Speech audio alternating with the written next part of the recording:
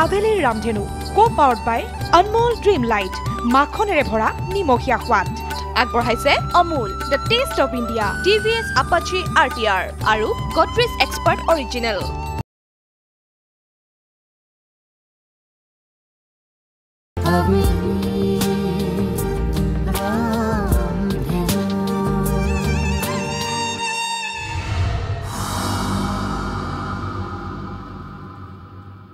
ৰেখা বা? কি আচৰিত। তুমি? কিন্তু এনেকৈ? হঠাৎ? ইমান দিন ক'ত আছিলা? তাৰমানে প্ৰীতিয়ে তোক এতিয়াও অকণো বিশ্বাস নকৰে। সেই কথাটোক লৈ মই আৰু একো কথাই ভাবিব নোখোজোঁ।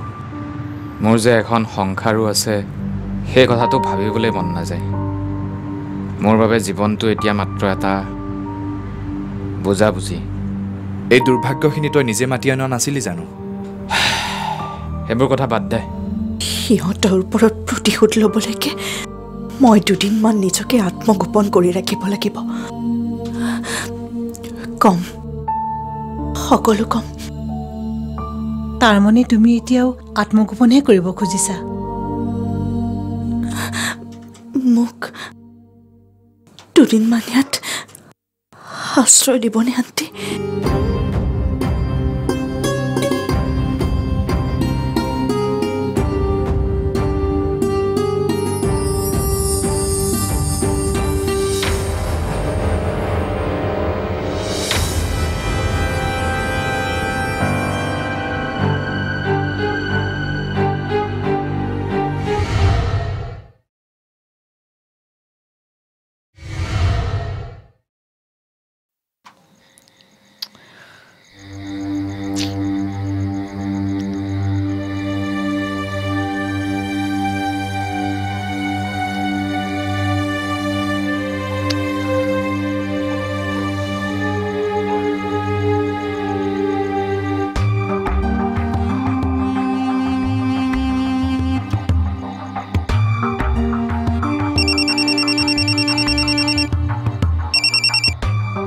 অঁ কোৱা।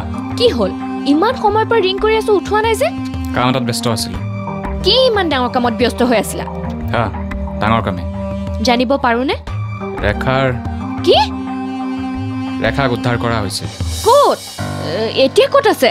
সেইবোৰ মই পাছত ক'ম। এতিয়া জানি থোৱা ৰেখাক বিচাৰি পোৱা গৈছে। এতিয়া মই ৰাখিছোঁ। হেল্ল' হেল্ল'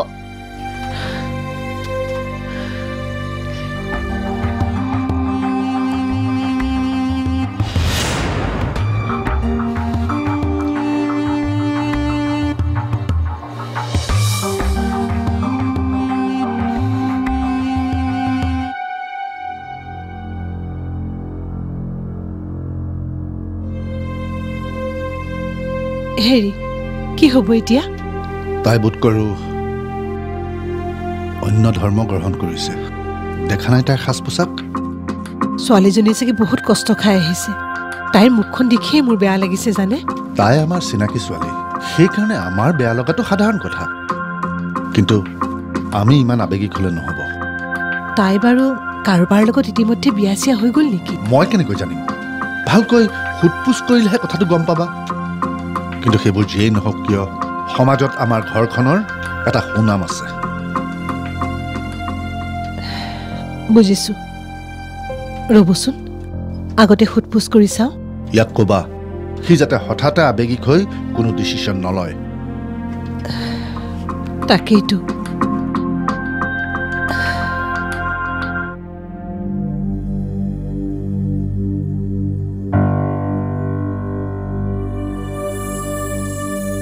তোমাক কোনে কিয় কিডনেপ কৰিছিল? এই কথা কি তুমি একেবাৰে গম পোৱা নাছিলা নেকি? নাই মই হঠাতে হোৱা এক্সিডেণ্ট বুলিয়ে ভাবি আছিলোঁ।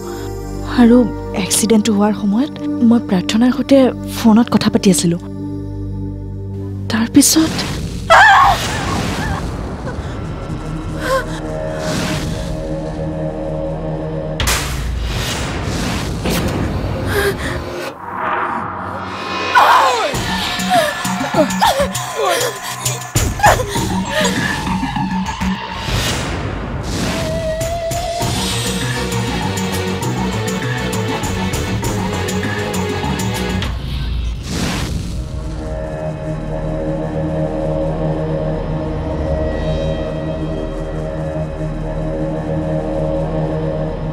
তার মানে সেই প্রফেশনাল কিডন্যাপার কি কলা তার নাম জেমস জেমছেই তাৰমানে দেৱানন্দ কাকতিৰ নিৰ্দেশত তোমাক কিডনেপ কৰিছে। খাটাং। কাৰণ দেৱানন্দ কাকতে জানিছিল যে মই থাকিলে দেউতাৰ কেছটো কেতিয়াও এৰি নিদিওঁ। তাতে তোমাৰ বন্ধু বিক্ৰমে আমাক যথেষ্ট সহায় কৰিছিল। গতিকে সিহঁতে মোক সিহঁতৰ ৰাস্তাৰ পৰা আঁতৰাব খুজিছিল। আচৰিত কথা। দীপনে সঁচাকৈ এইবোৰ একো জনা নাছিল নে? নাজানো। সি আচলতে টকাৰ কাৰণে দেৱানন্দ কাকতিৰ ওচৰত বিক্ৰী হৈ গৈছিল তোমালোকৰ দেৱানন্দ কাকতিৰ ঘৰলৈ থাকিবলৈ যোৱাৰ সিদ্ধান্তটোৱে ভুল আছিল ঠিকেই। আচলতে মোৰ হাতত কোনো উপায় নোহোৱা হৈছিল। দেউতা ঢুকোৱাৰ পাছত মা হঠাতে অসুস্থ হৈ পৰাত মাক হস্পিটেললৈ নিব লগা হৈছিল। আৰু আমাৰো চলাৰ বেলেগ কোনো উপায় নাছিল। গতিকে আধলি মানে দীপনে মাক তাৰ সৈতে নিম বুলি কোৱাত মাৰ স্বাস্থ্যৰ খাতিৰত মই বাধা দিব পৰা নাছিলোঁ।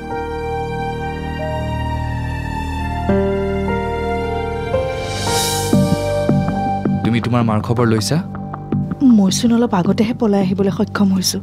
আৰু তালৈ যোৱাৰ সাহসখিনি মই কোনো কাৰণতে গোটাব নোৱাৰিলোঁ। কাৰণ সিহঁতে কি কৰিব পাৰে? মই জানো। তোমাৰ মাৰ অৱস্থা অলপো ভাল নহয়। মই এদিন গৈ অন্ততঃ যি দেখিলোঁ মোৰ অলপো ভাল নালাগিল। তেখেতে মানসিক ভাৰসাম্যতা হেৰুৱাই পেলাইছে যেন লাগিছে।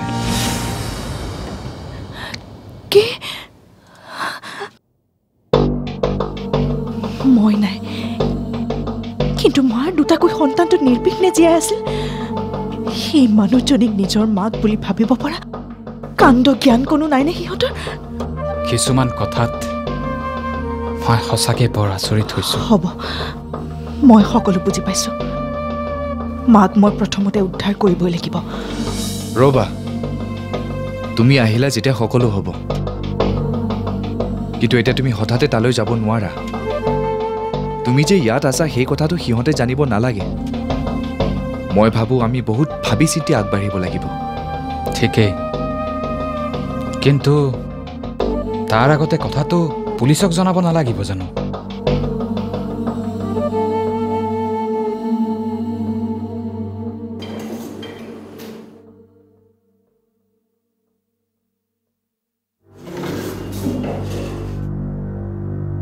মা?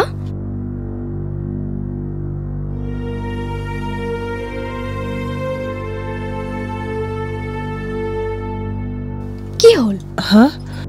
ৰেখাই তোক কিবা কৈছে নেকি? কি কিবা? মানে তাইক কোনোবাই কোনোবা মুছলিম ল'ৰাই। সেইবোৰ মোক একো কোৱা নাই। আৰু তোমালোকে ৰেখাবাক বোৰখা পিন্ধা দেখি তেনেকৈ ভাবিছা। নহয়নে? কিন্তু তেওঁ নিজকে লুকুৱাই ৰাখিবলৈওতো পিন্ধিব পাৰে। তই তাইক কথাবোৰ ভালকে সুধিবিচোন। সিহঁতে তাইক কিডনেপ কৰি নি কিবা মানে শাৰীৰিক বা মানসিকভাৱে নিৰ্যাতন চলোৱা নাইতো? মা তুমি এগৰাকী মানুহ হিচাপে এটা কথা ভাবাচোন। খন্তেক আগত তেওঁৰ হেজাৰ কষ্টৰ অন্তত হয়তো বহুত পাছতহে তেওঁ এইখিনি পাইছেহি। আমি তেওঁক এইবোৰ কথা সুধি অশান্তি দিব লাগেনে? ৰহ ময়ো এজনী মাক। ৰেখাৰ দুখ দুৰ্দশাৰ কথাবোৰ ময়ো নুবুজা নহয়।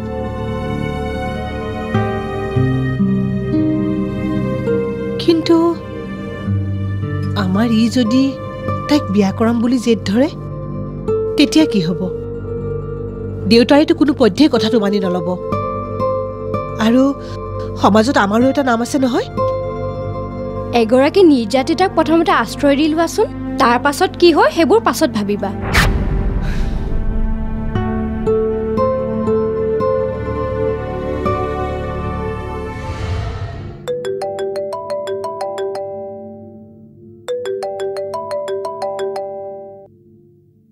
হেল্ল' কি? সঁচানে মিছা? এতিয়া ক'ত আছে? আৰে যিকোনো প্ৰকাৰে তাই ক'ত আছে সেইটো মোক লাগে। তাৰ কিন্তু পুলিচৰ ওপৰত বিশ্বাস নাই।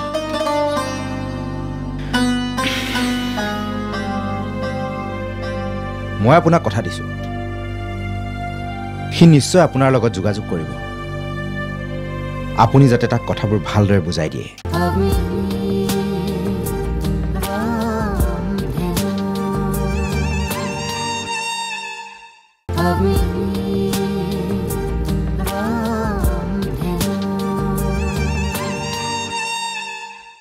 ধেত মানে ইয়াত ফোন লগালে যে পাবলৈ ইমান দিগদাৰ নহয়।